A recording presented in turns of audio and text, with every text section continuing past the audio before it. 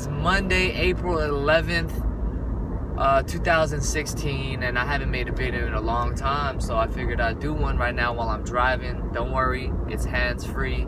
I'm not on my phone, you know. Um, but anyway, so uh, yeah, man, two two days left till Kobe Bryant's last game on Wednesday. I am going to Dave and Buster's in San Diego, Mission Valley. So if you guys want to join me, feel free to go.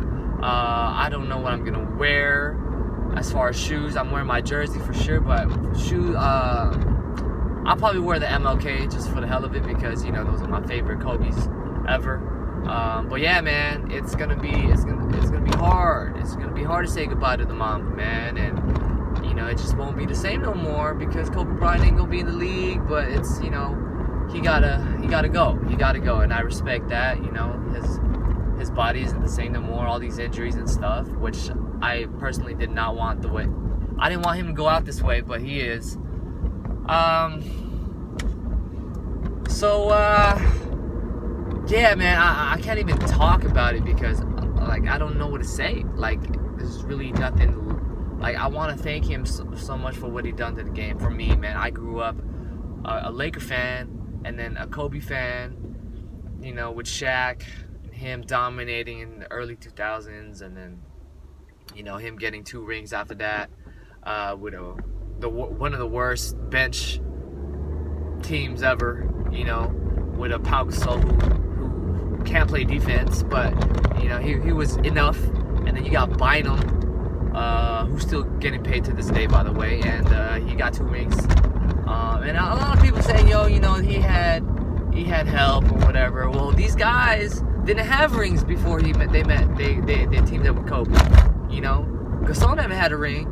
Bynum never had a ring. Odom never had a ring. Ariza never had a ring until Kobe. So it's not like, you know, it, it, and I'm not saying it's because of Kobe, but I'm just saying, like, hey, these guys are just like role players, and they were able to uh, get it done back to back.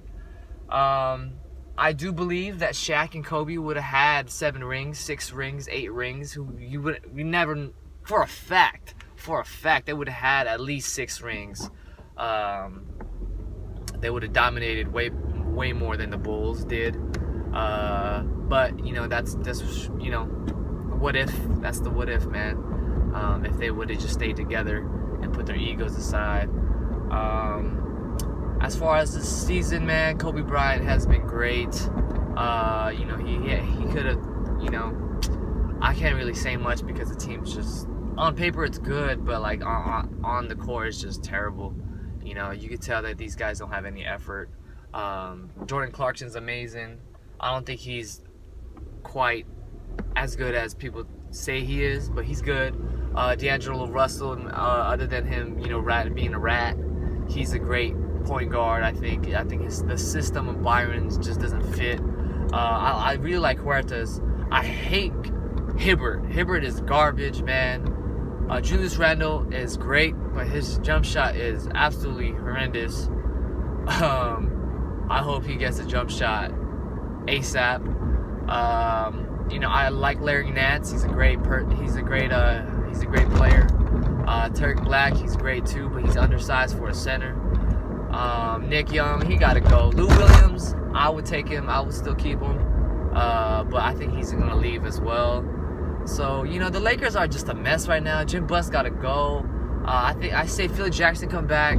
You know, take control uh, and start. You know, we need to get some players and join the Lakers, man, because damn, it, it sucks losing. And I think, and to be honest, I think we're gonna keep losing for another three years until we get somebody really good, man. Hopefully through the draft we get Ingram, Ben Simmons, or or uh, Fields, man. I'll take whoever, dude.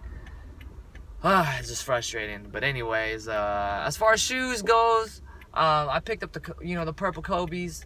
Uh, I picked up the, uh, uh, the uh, French Blue 12s. I haven't even had time to make videos. I don't really care for the J's, man. Um, I really want the metallic 5s later on.